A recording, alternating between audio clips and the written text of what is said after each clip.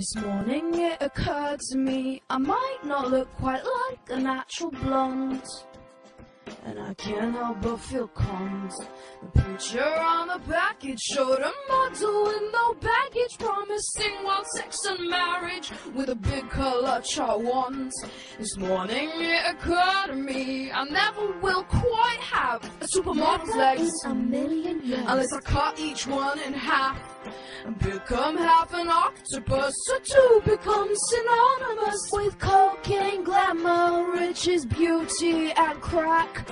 I took a trip to the National Gallery for was something more refreshing in what Rubens saw. My supermodel legs think they were plucked from a Rubenesque world. Ah, ah, ah, My ah. supermodel's legs look pretty crap on a five foot four girl.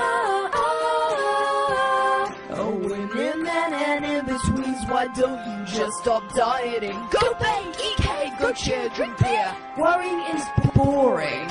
If people said eat loads of cake, you wouldn't want much anyway. And then you wouldn't stuff your face and look like King Henry VIII. Preset, we're told of every day for living our lives the wrong damn way. Suck my left was what I say if I want six coffees a day.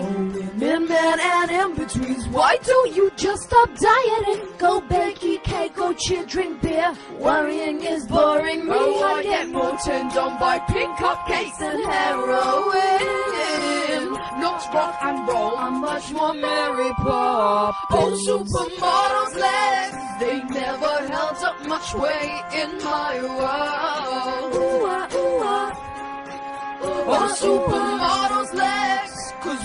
women should be women, girls should be allowed to be girls.